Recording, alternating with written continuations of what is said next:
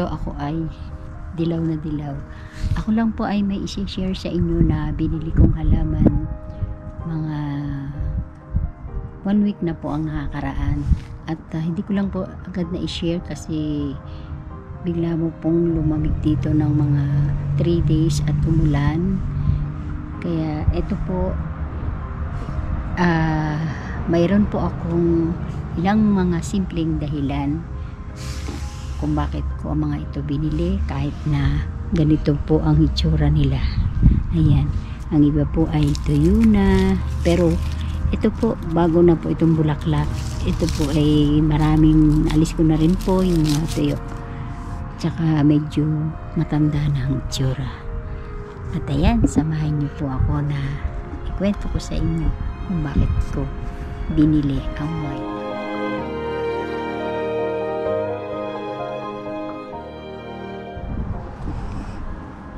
yan, pakikita ko na po sa inyo at sasabihin kung ano ang, ang aking mga dahilan kung bakit po it, mga ito ay aking binili. Ang unang-una ko pong dahilan kung bakit ito binili ay ang kita nyo naman po ang mga bulaklak niya, ang gaganda. At uh, ako po gustong gusto ko po yung mga namumulaklak na halaman dahil ako po ay mahilig sa butterfly kasi po yung butterfly, pag may bulaklak, palaging nanlilihan siya. Pero sa ngayon po, ang nakukita ko po dito ay ito po, bees. Ayan. Ah, ayan. At uh, ang susunod ko naman pong mga dahilan ay uh,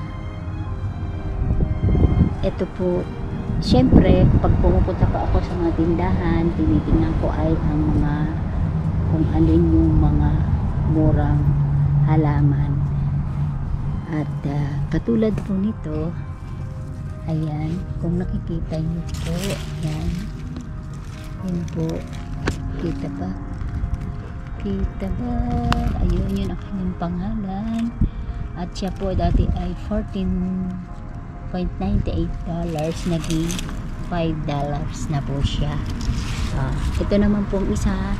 Ito ano, wala na ang kanyang name pero ito parang coral ang pangalan nito. Ayan oh, ang ganda naman niya. At ito po ay medyo may kamahalan ng konti pero nagali ko lang siya ng app. At uh, ito pong isang ito. Ito po ang kanyang name. At dati po siya ay 24.98 dollars 24 and 98 dollar. At uh, nabili ko lang po siya ng 3 dollars. Tingnan naman niyo po. Kung sa, sa pinaglasapat pa lang po ay tubo na ako. Kasi kung bibili po ako sa tindahan ng mga ganito nasa 2 dollars or 3 dollars din. Kaya ano, ito po ito. Ay uh, po yung name niya at uh, dati tingnan niyo naman po yung price then napili ko rin po siya ng 5 dollars. Ito ayan oh 2 dollars lang. Ito magkapareho malaki lang siya at ito ay maliit kaya ito ay 2 dollars. At ito rin po ito po yung name niya. Kita ba? Ayan dati siyang 10 0.98 naging 5 dollars lang ito. Yan dating 11.98 naging 2 dollars din po ito. At ito po ay yan po ang name niya 2 dollars din po ito. Ito basta maliit 10 dollars din. Ito maliit ang paso naging uh, much? Dati 7 how much before? 7 798 then naging 2 dollars lang ganun din po ito. Naging 2 dollars lang ayan. Ito pa isa pa. 2 dollars din po ito. At ito pong dalawa nito ay uh, ito po ay sale na din nung mabili ko. Ito po ay medyo sale na po yon medyo mahal din po. Mga nasa 8 dollars din. At ito po ay numabili ko ay may bulaklak na malaki. Ito po ay isang class sinam lilies. Magaganda po mga bulaklak nito. Ayan. Ito po. Ayan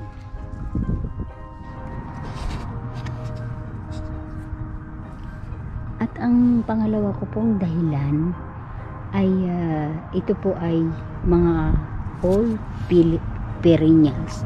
Ano nga po ba yung perennials? Ang perennials po ay ay yung mga klase ng halaman na kahit na po siya ay hindi woody yung sobrang tigas ng mga branch niya ay nabubuhay for uh, more than 2 years kahit na po mag-snow babalik po rin siya. Nandoon lang siya sa sa ano ng snow pero ah, next summer babalik ulit siya. Ah, meron din po ah, katulad po ng mga lala- malalaking kahoy na kahit na mag-snow babalik. Sila din po ay babalik. Ayan. Kaya ko po sila din nagustuhan yan itatanim ko po sila bago mag ah, bago mag ah, winter itatanim ko po sila sa lupa at ah, tingnan po natin next year kung sila po nga ay talagang babalik. At uh, nasusunod ko po ah, dahilan ay alam nyo naman po basta po ako pumunta ng mga supermarket at mga tindahan agad po ay sa mga clearance ako ah, nagtitingin ng mga mas mura. Although hindi naman po ako lang ang gumagawa ng ganyan. Mas marami pa pa patunayan po nung bumili ako ng mga halamang ito. Ay meron pong mga Pinoy din na namimili. Meron din pong ibang lahi at ah, nagtatatawanan po kami. At ah, talagang bilhin po namin yan ay uh, kanga malapit na silang matigok. At ah, nagsabihan na lang po kami ng ah, good luck sa amin. At ang ah, katulad po nito ito po ito po ay onion Ah, ang kilo po ng onion dito pag ganitong pula ay mga 3 dollar something. Kasi po yung dilaw ay mga 247 isang siguro mga isang kilo isang bukos na gano'n mas marami. Tingnan naman po ninyo oh, for 1 dollars. Oh, diba? Nakatipid ang konti. Ah, ito rin po yung eats. So isa pong masustansyang pagkain. Nagagawang salad at uh, at uh, hinihinahalo ko rin po sa sinigang ko. Ayan one for 1 dollar. Mahal po itong gulay na ito ito po kahit po panahon ng kamatis ngayon meron din po akong tanim pero hindi po po siya nahihinog kaya bumalik din po ako. Or for 1 dollars tingnan naman ang dami mahal din po ang kamatis. Okay. At ayan, maraming maraming salamat po sa pagsama niyo sa akin hanggang dulo. At uh, It's Miracle Channel, please like, share, and subscribe. At pag-click na rin po ng notification bell upang ma-update po kayo sa mga susunod ko pang pong mga video. Mag-ingat po tayong lahat. To God be the glory and thank you for watching.